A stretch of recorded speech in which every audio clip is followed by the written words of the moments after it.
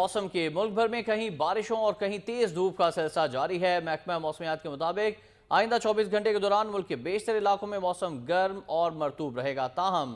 گلگت بلتستان میں چند مقامات پر بارش کا امکان ہے۔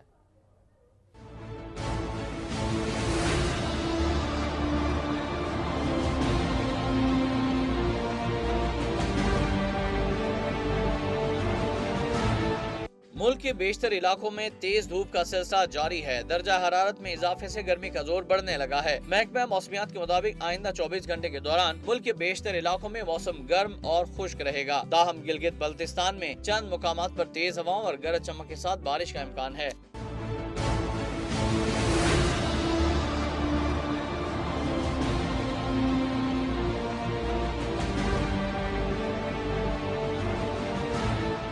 گزشتہ روز ملک کے بیشتر علاقوں میں موسم گرم اور مرطوب رہا۔ تاہم مالاکنڈ کوہار راول پنڈی کوئٹہ اور گلگت بلتستان میں بارش ہوئی۔ مالم جبا گوبس مری میں سب سے زیادہ بارش ریکارڈ کی گئی، جبکہ سبی نوکنڈی دال بندین گر